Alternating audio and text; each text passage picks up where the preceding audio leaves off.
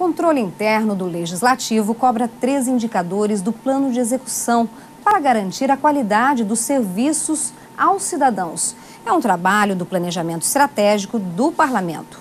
No total, são 29 indicadores. Agora, em maio, os gestores de cada setor tiveram que alimentar o sistema com os dados referentes ao mês de abril. A partir da coleta dos dados, a Assembleia Legislativa de Mato Grosso terá condições de acompanhar a execução do plano estratégico e avaliar se os objetivos deste estão sendo cumpridos. Nossos objetivos do plano estratégico é de longo prazo, né? Equivale para oito anos.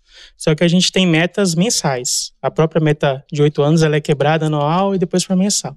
Então, para isso, a gente tem que coletar dados mensais para verificar se eles estão dentro da meta. Dos 29 indicadores, três devem ser respondidos por todos os setores da Assembleia.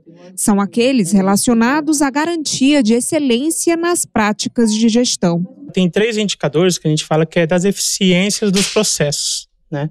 Que ele indica se está tendo retrabalho nos processos, se estão finalizados dentro do prazo, e até de resolutividade, que é a questão de formação ou não de estoques de demanda, se está sendo entregue mais do que o solicitado.